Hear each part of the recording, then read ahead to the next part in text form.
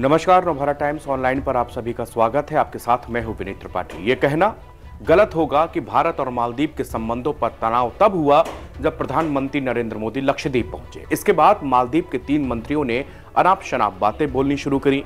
ये विवाद तो तभी शुरू हो गया था जब मुइज्जू मालदीव की सत्ता पर बैठे थे। नवंबर 2023 को सत्ता की बागडोर मुइज्जू ने संभाली थी और तभी से भारत और मालदीव के संबंधों का ग्राफ नीचे की तरफ़ गिरने लगा। इसके पीछे कई वजह हैं, मगर आज हम इस स्पेशल रिपोर्ट पर कुछ सवालों के जवाब टटोलने की कोशिश करेंगे। मालदीव को भारत से रिश्ते बिगाड़ने का काफ़ी नुकसान उठाना पड़ेगा और किसी हद तक ये सही भी है, लेकिन मालदीव, भारत और चीन दोनों के लिए ही रणनीतिक रूप से बेहद अहम है। यही वजह है कि दोनों ही देश मालदीव पर अपनी पकड़ मज़बूत बनाए रखना चाहते हैं। दरअसल, हिंद महासागर में मालदीव की लोकेशन उसे अहमियत प्रदान करती है क्योंकि मालदीव हिंद महासागर में स्थित एक टोल गेट की तरह काम करता है। इस द्वीप श्रृंखला के दक्षिणी और उत्तरी हिस्से में संचार के दो महत्वपूर्ण समुद्री मार्ग स्थित हैं। यह पश्चिमी एशिया के अदन की खाड़ी और दक्षिण पूर्व एशिया में मल्लिका जल डमरू के बीच समुद्री व्यापार के लिए प्रमुख है। इसके साथ ही खाड़ी देशों से जो भी तेल आता है, वो यहीं से होकर गुजरता है। ऐसे में चीन अपनी नौसेना को तेज़ी से बढ़ते हुए मालदीव में अपनी पहुँच बढ़ाने का प्रयास कर रहा है। भारत के लिए मालदीव क्यों बेहद अहम है? पहला कारण तो यह है कि लक्षद्वीप से ये मात्र 700 किलोमीटर की दूरी पर है और भारत के मुख्य भूभाग से मात्र 1200 किलोमीटर की दूरी पर स्थित है। भारत की नेबरहुड फ़र्स्ट पॉलिसी और सागर सुरक्षा सहायता के तहत मालदीव ज़रूरी हो जाता है। मालदीप में लंबे समय तक भारत के प्रभाव में रहा है। भारत की मालदीप में मौजूदगी से हिंद महासागर के एक प्रमुख हिस्से पर नज़र रखने की क्षमता मिल जाती है। हिंद महासागर में चीन अपना प्रभाव बढ़ाने के लिए कई देशों में अपनी मौजूदगी भी बढ़ा रहा है। दूसरी तरफ़, उसको रोकने के लिए भारत चाहता है कि वह इन देशों में अपनी मजबूती को, अपनी मौजूदगी को वहाँ पर मजबूती से दर्ज कराए। चीन वैश्विक व्यापार और इंफ्रास्ट्रक्चर के ज़रिए इन देशों में तेज़ी से अपने पैर जमा रहा है। भारत और चीन दोनों चाहते हैं कि उनकी नौसैनिक रणनीति के दायरे में यह इलाका रहे।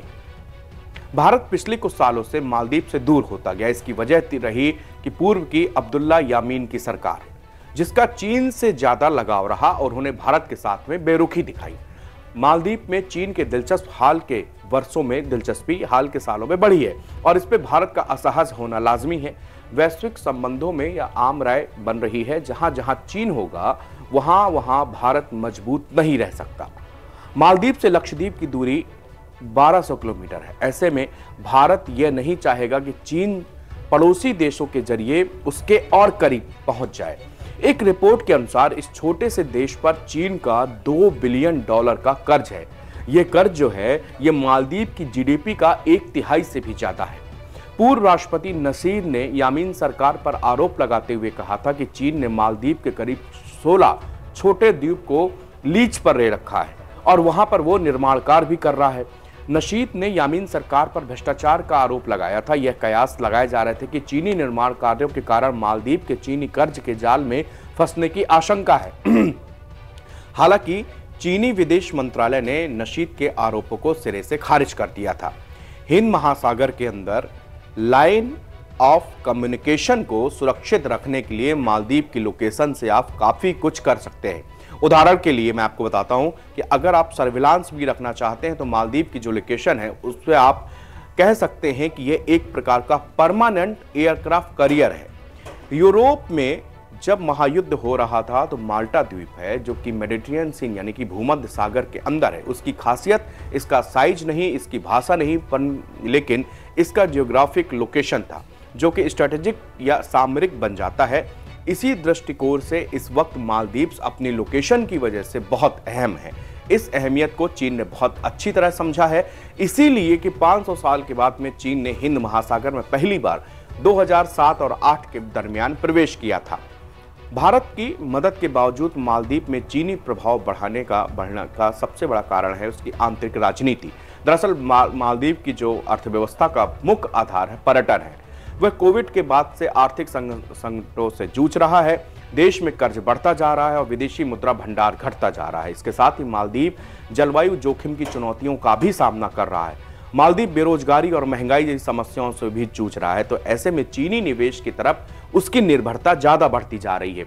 चीन हर गरीब देश को पैसा देता है, चाहे वो अफ्रीका हो या साउथ ईस्टर्न एरिया में। चीन ने कई सालों तक पाकिस्तान, किर्गिस्तान, अफ़गानिस्तान, श्रीलंका, नेपाल और आसपास के कई छोटे देशों को मदद करने के बहाने बड़े बड़े कर्ज दिए, या फिर उनको किसी न किसी प्रोजेक्ट बनाकर उन, उस देश में निवेश किया, जिसका आउटपुट उस देश के लिए कुछ नहीं आने वाला। इसके बाद यह देश चीन के कर्ज तले फंस जाते हैं और आगे चल के ऐसे नेगोशिएशन करते हैं, जिसके कारण उसको अपना बहुत बड़ा हिस्सा चीन को सौंपना पड़ जाता है। उदाहरण के लिए मैं आपको बताता हूँ, श्रीलंका ने हम्बन टोटा और पाकिस्तान ने ग्वादर बंदरगाह चीन का, चीन को दिए हैं, क्योंकि ना श्रीलंका और ना पाकिस्तान उसका समय पर कर्ज नहीं चुका पाए।